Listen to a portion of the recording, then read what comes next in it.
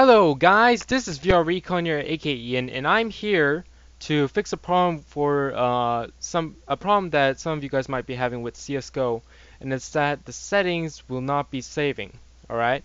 So uh, what happens is basically you open CS:GO. I'm not going to open it right now, but basically you open it, you change your settings like volume, uh, what is it, the crosshair and stuff like that, but the setting won't save. You close it, you open it again, and it's it's changed back to what it was. So what you want to do to fix this is you want to go right click on CSGO, go to properties, go to local files, and click browse local files. Uh, I'm sorry for the language differences. Um, it's just because I live in Korea. But anyway, if you go to CSGO, CFG, and then there's config.cfg, this is the configuration, uh, it's basically the settings folder, okay? So if you right click this, um, for some people, it will say read only, it will be checked, and for some people, it won't be. Um, I'm not exactly sure how it would be if when when you first open it, because it's always different. It's kind of complicated. But basically, what you want to do is uncheck it. Okay, you want to uncheck this, click apply. One second. Oh, okay. Uh, silly me. I was looking at the folder properties. Okay, yeah. Check read only. You know, uncheck it click apply, and then you want to open the game again, okay?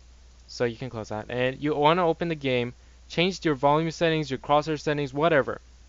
And then you want to go back and you want to uh, check it again.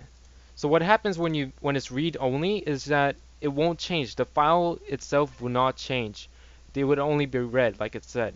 So uh, when you change your settings, what happens is that the settings won't apply. It's just uh, temporary. So you want to do that.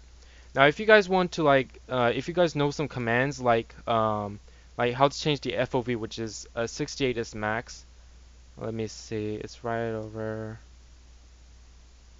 And then there's sensitivity and stuff like that. So what I do, what I did is I just uh, took some commands and added it into here. You just take this icon, copy and paste it around the command. So I did cl underscore show fps 1 and max FPS FPS max uh, 60 because uh, I need I need to do that and it's a good way to do it without having to type it in all the time. So that's how you fix um, fix the problem. So hopefully you guys will be able to fix it uh, from what I told you. Hopefully it will help. Um, one thing is, lately I've been feeling sick, so I don't know if I'll be able to upload a lot.